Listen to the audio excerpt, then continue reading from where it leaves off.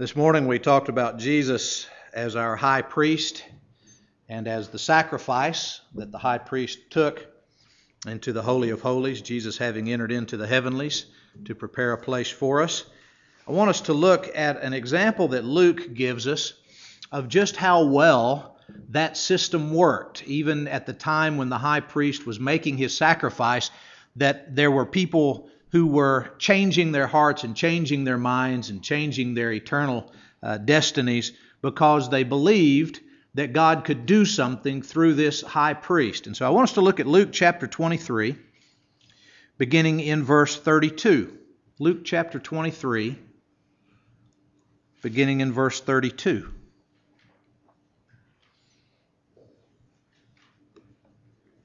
As I was growing up, there was a quartet song that was very popular at the time called I'm Saved Like the Criminal on the Cross. Anybody remember that that particular arrangement? I think the uh, maybe the Sounds of Glory or the Gospel Airs, one of those two groups, has it on one of their tapes. You would enjoy the song, uh, but I heard a lot of sermons preached during those days about how that song was wrong. That uh, we were saved in a different way because of the blood of Christ and because of our baptism into Christ. That the thief on the cross died under the old covenant. And there are a lot of things that are dissimilar about our salvation and the salvation of this thief we're going to read about. But there's one thing that is particularly important and is exactly the same, and that is that repentance and a change of heart always precedes forgiveness and salvation. And so we're going to look at a time when the high priest was sacrificing himself. He was on the cross for our sins, and he had an encounter with somebody who needed forgiveness. There were two others with him, criminals, who were led with him to be put to death. When they had come to the place called Calvary, there they crucified him and the criminals, one on the right hand and the other on the left. And Jesus said, Father, forgive them, for they do not know what they do. They divided his garments and cast lots. The people stood looking on, but even the rulers with them sneered, saying, He saved others. Let him save himself if he is the Christ, the chosen of God. The, the uh, soldiers also mocked him, coming and offering him sour wine, and saying, If you're the king of the Jews, save yourself. And an inscription was written over him in letters of Greek, Latin, and Hebrew that read, This is the king of the Jews. Then one of the criminals who were hanged blasphemed him, saying, If you are the Christ, save yourself and us. But the other answering rebuked him, saying, Do you not even fear God, seeing you are under the same condemnation? We indeed justly, for we receive the due reward of our deeds. But this man has done nothing wrong.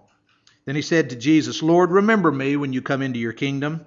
And Jesus said to him, Assuredly I say to you, today you will be with me in paradise. One of the most beautiful passages of all the New Testament because you see the difference of how people respond to the sacrifice.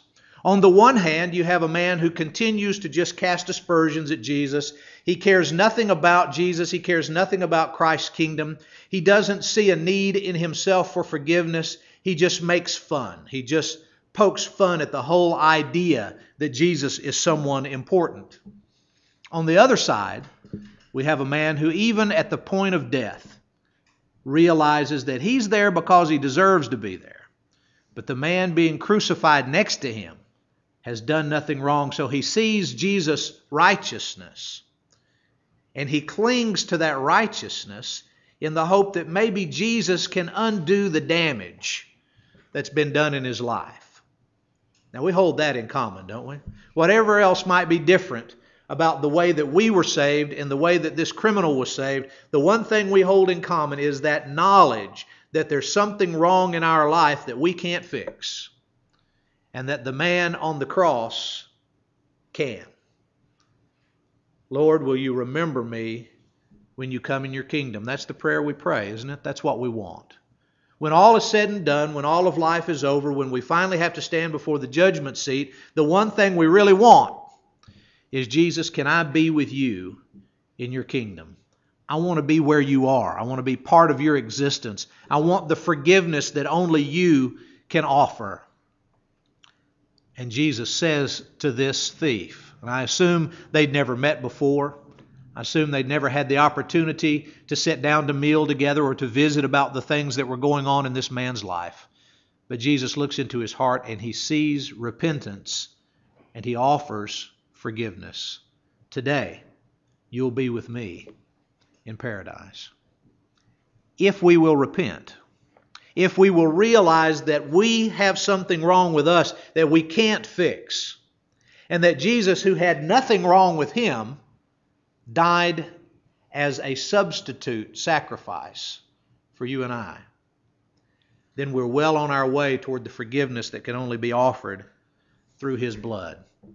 But here hangs the high priest, the sacrifice, the only beloved Son of the Father, full of grace and truth. And the thief recognized that that was his only hope. And he acted on his repentance and on his hope that Jesus could change things. That's what we ask of ourselves, is it not? Each one of us needs to look deep into our hearts day after day, week after week, until the Lord comes back to get us. We see what's wrong with us, we see what's right with our great high priest, and we ask Him, Will you forgive me? Can I be with you where you are?